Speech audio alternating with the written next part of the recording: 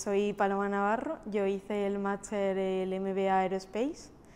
y realmente eh, del programa me quedo con, con, la experiencia del año ese, que para mí fue muy importante porque yo salí directamente del grado y fue como una inserción al mundo laboral directamente porque el máster te da eh, la, la, posibilidad de empezar desde el día uno en una empresa a la misma vez que se va desarrollando el máster